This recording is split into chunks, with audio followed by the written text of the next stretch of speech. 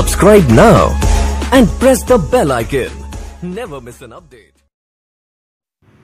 खबर उज्जैन के बननगर से जहाँ पर विद्यांजलि इंटरनेशनल स्कूल द्वारा जन जागरूक रैली निकाली गई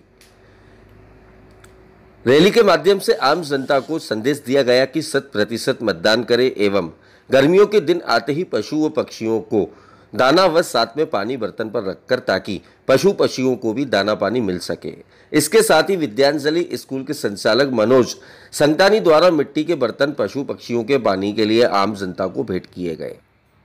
तहलका इंडिया न्यूज़ के लिए महेश सोनगरा की रिपोर्ट।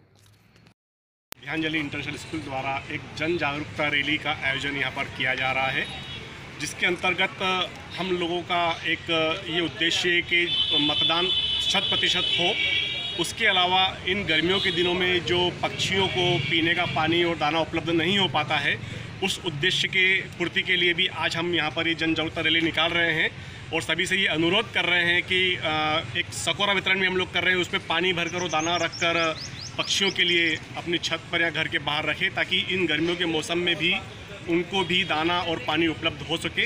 यही एक हमारा छोटा सा प्रयास है और सभी से ये अपील है, अनुरोध है कि शत प्रतिशत मतदान करें। और पशु पक्षियों का इस गर्मी के मौसम में ध्यान रखें। धन्यवाद।